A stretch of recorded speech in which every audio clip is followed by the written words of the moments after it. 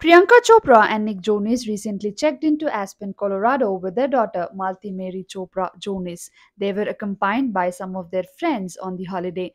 Now Priyanka took to her social media and shared a video from her ski vacation. But what caught her attention was the beautiful caption that came with it. She wrote, Hold your loved ones close. The reel consisted of precious moments from her trip, and the actress can be seen playing in the snow and posing with her friends. In more glimpses, the group is seen chilling indoors, and in one of the picture, baby Malti is seen posing for the camera with white sun hat on. Nick Jonas can be also spotted standing beside Priyanka with his hands wrapped around her. Just a day before, Nick Jonas also shared Aspen photo dump featuring his family.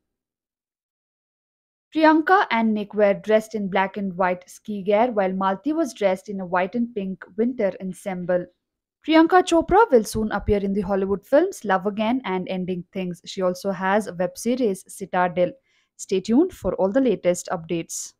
And that's it for today's video. If you like this video, don't forget to hit that like button, share the video with your friends and family and subscribe to my channel for more such videos.